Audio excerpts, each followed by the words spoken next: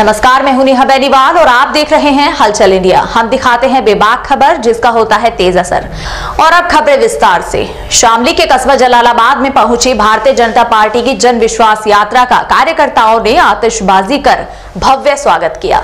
जनपद शामली के कस्बा जलालाबाद में जन विश्वास यात्रा पहुँचने पर दोनों जगहों पर पटाखे छोड़कर भाजपा जिंदाबाद के नारों के साथ कार्यकर्ताओं ने स्वागत किया। यात्रा का स्वागत करने के लिए क्षेत्र के गाँवों से ट्रैक्टर टोलियों पर सवार होकर भाजपा कार्यकर्ता हाथ में भाजपा का झंडा, तिरंगा झंडा, सर पर भगवा टोपी लेकर मोदी योगी की जयकौरव के नारे लगाते हुए गंदेवड़ा संगम से गाँव जानीपुर पहुँचे। जानीपुर गाँव में ग्रामीणों ने पुष्प वर्षा कर स्वागत किया। जानीपुर से यात्रा सोहनी उमरपुर सोहनी डेरा अहमदपुर रेलवे फाटक से होते हुए कस्बे में हाईवे पर चौराहे पर पहुँची, जहाँ पर यात्रा में क्षेत्रीय अध्यक्ष मोहित बेनीवाल सांसद प्रदीप चौधरी, आयुष कैबिनेट मंत्री डॉक्टर धर्म सिंह सैनी, प्रदेश सरकार में कैबिनेट गन्ना मंत्री सुरेश राणा, विधायक तेजेंद्र निर्वाल, जिला अध्यक्ष सत्येंद्र तोमर, जिला कोऑपरेटिव बैंक डायरेक्टर व थाना भवन ब्लॉक प्रमुख प्रतिनिधि ठाकुर सोमवीर सिंह, मनोज राणा कैडी, जयपाल सिंह, ठाकुर राजकुमार सिंह, देशराज सैनी, जनेश्वर सैनी, बबली कश्यप, चक्रेश राणा, संजय राणा खड़क सिंह पूर्व प्रधान, विनोद पूर्व प्रधान उमरपुर, श्री ओम राणा, प्रधान उमरपुर योगेंद्र प्रताप मंडल महामंत्री रणदीप सिंह दखोड़ी मौजूद रहे। पुराने बस स्टैंड के पास महाडी मंदिर पर भाजपा कार्यकर्ताओं व वाल्मीकि समाज की ओर से फूलों की वर्षा की गई। यहाँ पर गोविंद वाल्मीकि, पप्पू वाल्मीकि, विनोद उपाध्याय, योगी शेखर आदि स्वागत करने में शामिल रहे। इस दौरान कैबिनेट गन्ना मंत्री सुरेश राणा ने बताया की प्रदेश में मुख्यमंत्री योगी आदित्यनाथ के नेतृत्व में प्रदेश का चहुमुखी विकास हुआ है। प्रदेश में गुंडाराज का खात्मा सरकार ने किया है। चारों ओर सड़कों का जाल बिछाया गया है ताकि गाँव के अंतिम छोर तक आवागमन में कोई परेशानी ना हो। आज का ये जन सैलाब बता रहा कि विरोधियों ने जो गठबंधन कर रखे आपस में जनता का गठबंधन जो है योगी और मोदी से हो चुका। और भारी मतों से जो है, पहले लोगों के जो गुंडा राज थे, उनके खिलाफ वोट पड़ेंगे। योगी राज में जो है, ना भ्रष्टाचार है, ना गुंडा राज है। इसलिए मतलब जो है, भारी मतों से जो है, जनता जो है, इस बार आने वाले 2022 में जो है, पुनः योगी को बनाने जा रही है। जिस तरह का यहाँ जन सैलाब देखने को मिल रहा है इससे आप हर कार्यकर्ताओं को क्या संदेश देना चाहते हो? संदेश देना चाह रहे हैं कि भाई मेहनत से लगाओ अपने पार्टी को जिताओ और सुरेश राणा को दोबारा जो है अपने 2022 में विधायक बना के भेजो और फिर जो है जो आज इनके 400-500 करोड़ रुपए लगाए क्षेत्र में जो है 400-500 करोड़ और लगकर जो है ये ये थाना भवन कॉन्स्टिट्यूंसी जो है हिंदुस्तान की सबसे बढ़िया कॉन्स्टिट्यूंसी बन जाएगी आने वाले टाइम में। गन्ना परमिट की व्यवस्था इस सरकार ने इतनी बेस्ट कर दी। अभी सदन चला, शीतकालीन सदन, उसमें एक विधेयक ले आए कि जो इस यूनिट का, गन्ना यूनिट की बजाय, बजाज जैसे बजाज है, बाकी सारे मिल तो बड़ा अच्छा पेमेंट कर रहे हैं, बजाज और एक मैडम ग्रुप को दो को छोड़ के। लेकिन अभी संशोधन ले आए विधानसभा में, एक बिल पास किया माननीय मंत्री सुरेश राणा ने, कि उनका अन्य विभागों का पैसा, अन्य फैक्ट्रियों का पैसा, अन्य किसी जैसे बिजली है, और है, या इंडस्ट्री है, उनका पैसा गन्ने के पैमिट में, गन्ने के किसानों के लिए पेमिट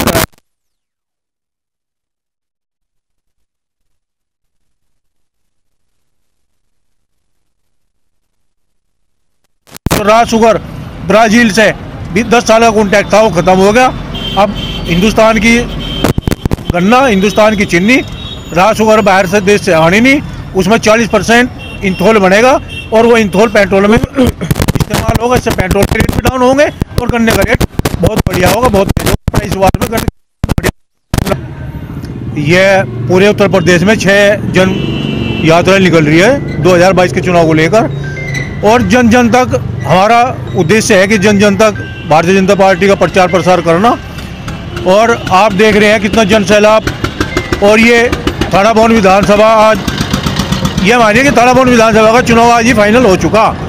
चूँकि हज़ारों ट्रैक्टर जलालाबाद है, हज़ारों ट्रैक्टर थाना भवन में खड़े, इतनी आगे हरड़ में खड़े, इतनी आगे सिक्का है हिंद पुलिया में खड़े।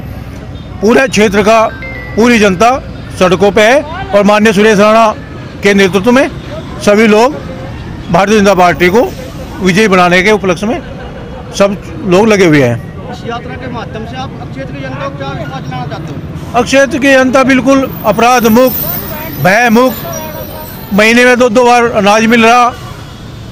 सड़कें बढ़िया बढ़िया रोड, बढ़िया काम, अठारह घंटे बिजली और आने वाला टाइम भारतीय जनता पार्टी का इस वजह से हुआ कि अमीर, गरीब, मजदूर, किसान सबके हित की पार्टी है, सबको लेके चलने वाली पार्टी है। और आज इतना विकास पूरे क्षेत्र में हो गया, इतना बढ़िया काम हो गया कि कोई विकल्प ही नहीं रहा दूसरी पार्टी पे, विपक्ष पे कोई मुद्दा ही नहीं है। मुद्दाहीन पार्टियाँ होगी सारी और जो लोग भारतीय जनता पार्टी को बड़ी होगी या वैसी पार्टी बनने थे, आज में सब लोग भी सड़कों पे हैं और भारतीय जनता पार्टी, मोदी और योगी के नेतृत्व में सब लोग विश्वास के साथ काम कर रहे हैं। जिला कांग्रेस कमेटी शामली के द्वारा बिडोली नाले की नवीनीकरण को लेकर धरना प्रदर्शन किया गया। शामली जनपद के गाँव बिडोली तिराहे पर गंदे पानी के नाले की खुदाई के लिए जिला शामली कांग्रेस कमेटी के नेतृत्व में ग्रामीणों ने धरना प्रदर्शन किया। पूर्व निर्धारित कार्यक्रम के अनुसार ग्राम पंचायत मियान कस्बे के बिडोली तिराहे पर पीडब्ल्यूडी के द्वारा निर्मित गंदे पानी की निकासी के लिए बनाए गए नाले की पिछली पाँच वर्षो ऐसी सफ़ाई न होने आरोप स्थानीय दुकानदारों ने कांग्रेस जिलाध्यक्ष दीपक सैनी व युवा प्रदेश महासचिव अश्वनी शर्मा अश्वनी शर्मा के नेतृत्व में मुख्य मार्केट में धरना प्रदर्शन कर अपना विरोध दर्ज कराया। ग्रामीणों का आरोप है कि नाले के निर्माण कार्य से लेकर अब तक कभी भी इस नाले की प्रशासन द्वारा सफ़ाई नहीं हो पाई है, जिसके चलते नाला मिट्टी व कचरे से सट गया है, जिसके कारण गाँव का गंदा पानी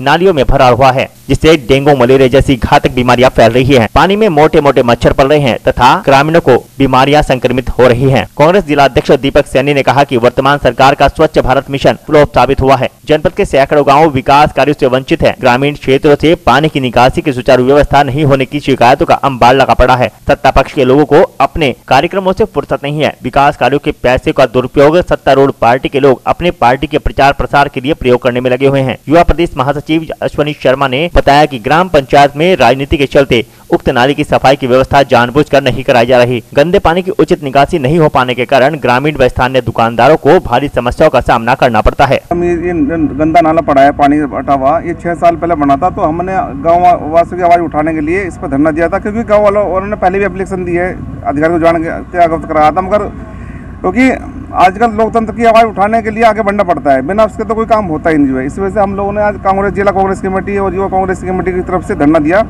और अपनी आवाज़ उठाई और एसडीएम साहब को ज्ञापन दिया।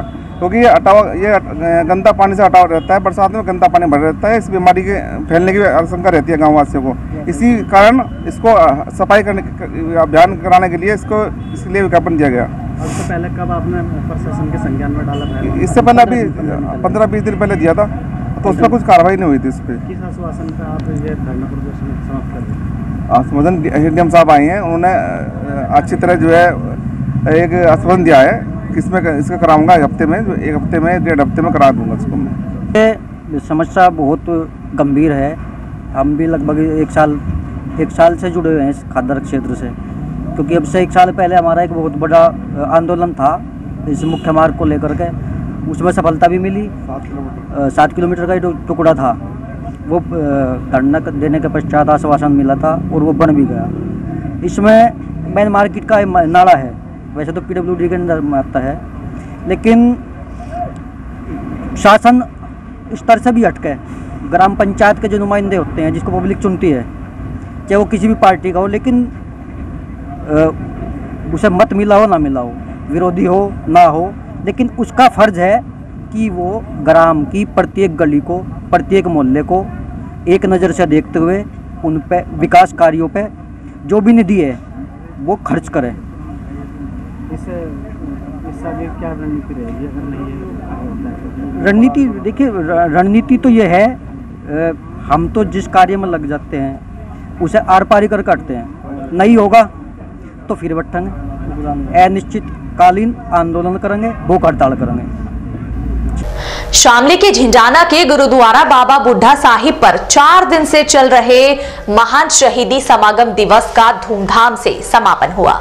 शामली के झंझाना क्षेत्र के गड्डी वाला स्थित गुरुद्वारा बाबा बुढ़ा साहिब में चार दिन से चल रहे महान शहीदी समागम दिवस का बड़ी धूमधाम के साथ समापन किया गया। आपको बता दें कि मेरठ करनाल रोड पर झंझाना के गड्डी स्थित गुरुद्वारा साहिब में महान शहीदी समागम दिवस के मौके पर तीसरे दिन सिख समाज के लोगों में भारी उत्साह रहा, जहाँ सिख समाज के लोगों ने आते जाते राहगीरों को भी लंगर में प्रसाद चखाया और उसी के साथ साथ मेले का आयोजन भी किया, जहाँ लोगों ने जमकर अपनी ज़रूरत का सामान खरीदा। सिख धर्म के अनुसार मान्यता है कि गुरु गोविंद सिंह ने जो पंच प्यारे चुने थे, जो आज ही के दिन शहीद हो गए थे, उन्हीं की याद में उन्होंने आज के दिन महान शहीदी समागम दिवस के रूप में याद किया जाता है। जी की फतेह। ये प्रोग्राम श्री गुरु गोविंद सिंह साहब, उनके साहब चारे साहबजादे का शहीदी समागम मनाया जा रहा है। हर साल इक्कीस बाईस तेईस लाइव प्रोग्राम चल रहा है हमारे यहाँ पर, विरासत टीवी पर। हाँ गुरु हर साल मनाया जाता है। ये हाँ ये गुरुद्वारा है